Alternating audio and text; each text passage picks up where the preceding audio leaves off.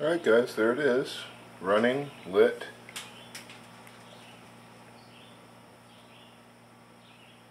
Can you hear the birds chirping off in the woods? Hear the leaves flapping on the steel roof. But you don't hear the reservoir.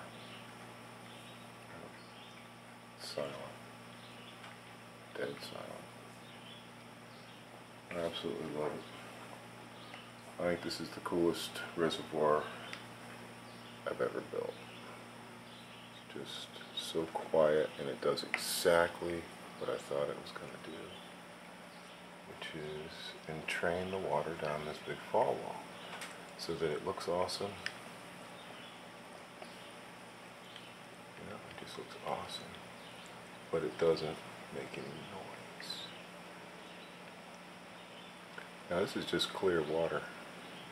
Imagine UV reactive fluid and UV lighting from below.